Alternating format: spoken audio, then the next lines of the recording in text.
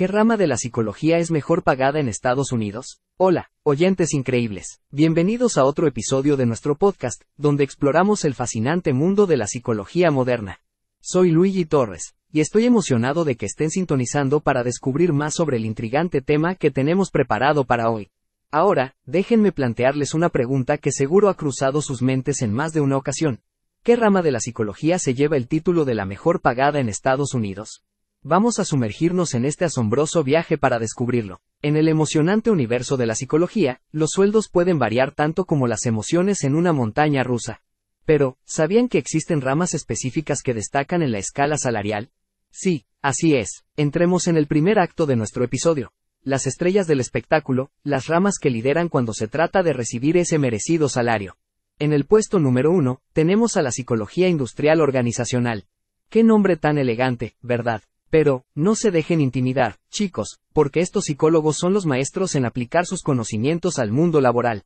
Mejoran la productividad, la satisfacción laboral y, lo más emocionante, reciben salarios competitivos. Sí, están dando forma al mundo laboral y ganando bien mientras lo hacen. ¡Qué combinación! En el segundo lugar de nuestro podio salarial, aparece la neuropsicología.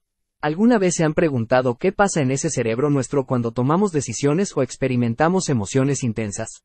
Bueno, eso es precisamente lo que los neuropsicólogos estudian. La relación entre el cerebro y el comportamiento es su terreno de juego, y debido a su especialización y la alta demanda, se llevan a casa salarios más altos. Definitivamente, la neurociencia está en auge, chicos. Y no podemos olvidar a los rockstars de la salud mental, los psiquiatras.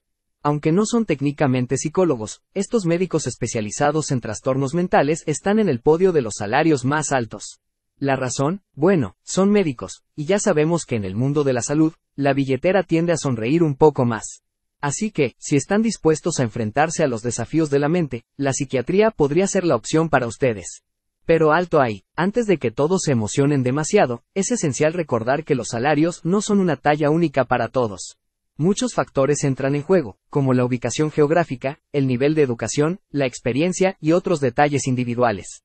Así que, chicos, elijan sabiamente y asegúrense de estar apuntando hacia las estrellas. Ahora, ¿qué les parece si hacemos una pausa rápida para reflexionar sobre esto? ¿Cuál de estas ramas les llama más la atención? ¿O quizás tienen alguna experiencia que quieran compartir? Déjenme saber en los comentarios. Queremos escuchar sus pensamientos y experiencias mientras continuamos explorando este fascinante tema. Y volviendo a nuestro viaje, recordemos que la psicología es como un vasto océano, con innumerables corrientes y mareas. Así que, si están disfrutando de este viaje con nosotros, no olviden suscribirse para no perderse ningún episodio emocionante que tenemos preparado para el futuro. La psicología moderna nos tiene reservadas algunas sorpresas, y queremos que ustedes estén aquí para descubrirlas con nosotros.